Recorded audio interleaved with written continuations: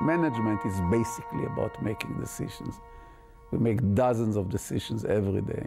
So there are hundreds, if not of thousands, of companies in the United States today of consultants who are being hired by companies as decision analysts. I've been living all over the world and I've, I've taught in many universities. In the last 20 years, I was at the University of Arizona.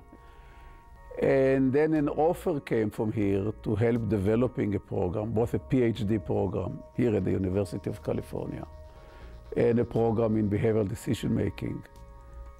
And rather than just sitting and writing more papers, I thought, well, I can really do something which will have an impact. And this is what attracted me. Otherwise, I would not have come. I think that the School of Management has made some very important steps in developing this area. First of all, it recognized behavioral decision making as a major area of concentration or excellence. That's a good step. Secondly, they really put resources in, you know, in hiring people in this area. Without it, you just you cannot really make much progress, and that's a good step.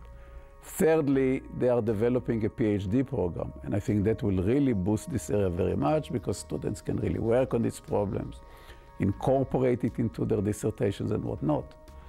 And finally, the school really, really placed many resources into constructing a laboratory, which is almost unique in this, uh, at least in this state, to conduct experiments in behavioral decision making.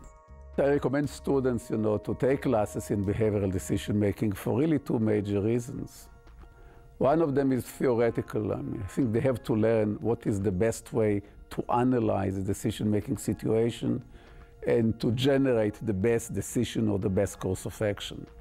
Secondly, and this is sort of the descriptive aspect of it, I would recommend them to learn, you know, what are their own limitations in making decisions so that if they are aware how good they are or how bad they are as decision maker, they can take it into account when they have to make decisions in different areas of management.